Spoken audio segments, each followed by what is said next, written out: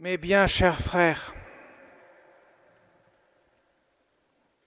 Amen, je vous le dis, c'est lui qui, la ceinture autour des reins, les fera prendre place à table et passera pour les servir.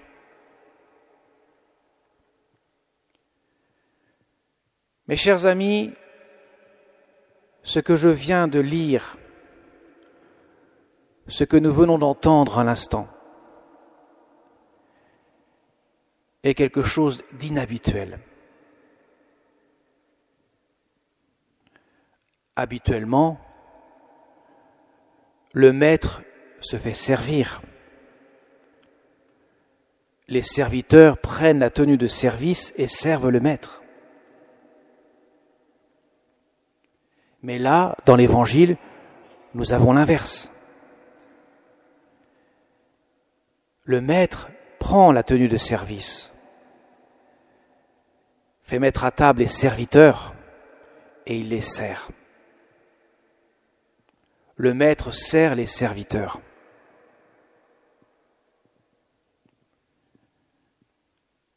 Le maître, c'est bien sûr Dieu, Jésus, Dieu fait homme. qui a pris la tenue de service, il s'est fait homme. Et il a servi les serviteurs en donnant sa vie sur la croix. Il a déversé sur le monde son amour, son amour miséricordieux, pour que l'homme ne reste pas dans la mort, mais qu'il puisse connaître la résurrection, le bonheur éternel, la vie éternelle. En ce sens, Jésus, le Maître, sert les serviteurs que nous sommes. Il donne sa vie pour chacun d'entre nous. Ah, mes chers amis, vous qui avez perdu un être cher au cours de cette année qui s'est écoulée, Vous le savez tous, ce qui est au cœur de la vie humaine, ce que nous emportons avec nous quand nous quittons cette terre, ce que nous laissons à ceux que nous avons côtoyés, qui nous ont été proches, c'est l'amour. L'amour est le trésor de notre vie. Et nous sommes en peine, nous avons du chagrin, pour ceux qui nous ont quittés, parce que nous les reverrons plus sur terre. Ceux que nous avons aimés, nous gardons dans notre cœur le souvenir de leur amour qu'ils ont partagé avec nous. En même temps, ils emportent avec eux cet amour. Ils n'emporteront pas leur bien, mais ils emporteront leur amour, l'amour avec lequel ils ont aimé. Cet amour qui sera transfiguré par l'amour de Jésus, qu'il a déversé sur le bois de la croix, de son cœur transpercé, son cœur ouvert, d'où s'échappent l'eau et le sang. Et alors l'Église prie en ce jour, le lendemain de la solennité de la Toussaint, cette foule immense qui est au ciel, qui partage de la gloire de Dieu, nous prions pour nos défunts, ceux qui ne sont peut-être pas encore au ciel, mais qui sont ce qu'on appelle le purgatoire. Le purgatoire n'est pas un enfer, c'est pas un ciel au rabais, c'est l'antichambre du ciel. C'est tout simplement la vision de notre âme que nous avons en quittant cette terre qui n'est peut-être pas encore ajustée au ciel.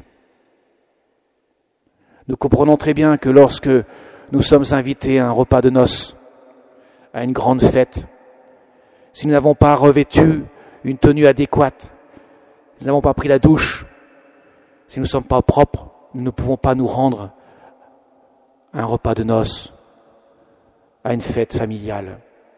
Il faut se préparer.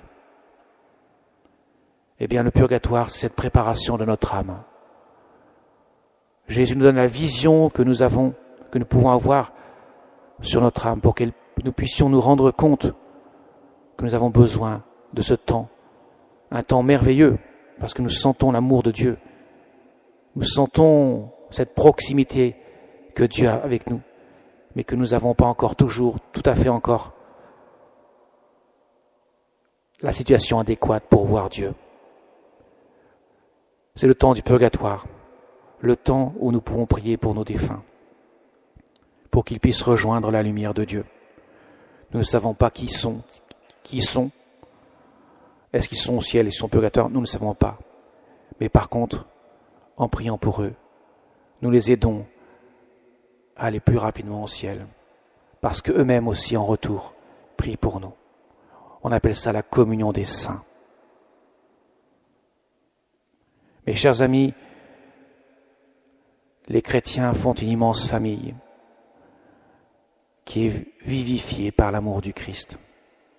Aussi bien les saints du ciel que ceux qui sont au purgatoire, que nous-mêmes qui sommes sur terre. C'est une immense famille et qui a comme particularité l'amour du Christ, qui vient irriguer nos cœurs afin que nous puissions aimer de l'amour de Dieu. Alors mes chers amis, malgré le désespoir de ne plus voir ceux que nous avons aimés, qui nous ont quittés, gardons au fond de notre cœur l'espérance. L'espérance va bien au-delà de l'espoir. L'espoir est pour la terre, l'espérance est pour l'éternité. Cette espérance que la résurrection est au bout du chemin, la vie éternelle au bout du chemin. L'homme n'est pas fait pour rester sur terre.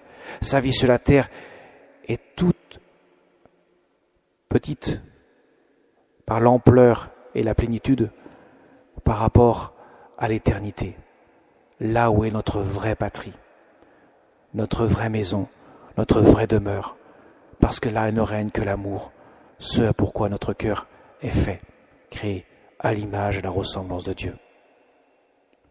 Nous pouvons aussi offrir ainsi notre, nos intentions de prière pour nos défunts. Nous pouvons aussi prier la Vierge Marie, notre Mère du ciel, qui est la maman de tous les hommes, afin qu'elle puisse aussi nous aider à garder confiance et espérance, qu'elle puisse nous aider à toujours avoir ce cœur tourné vers ceux qui nous ont quittés, parce que ce ne sont pas eux qui vont revenir vers nous, c'est nous qui irons vers eux. Amen.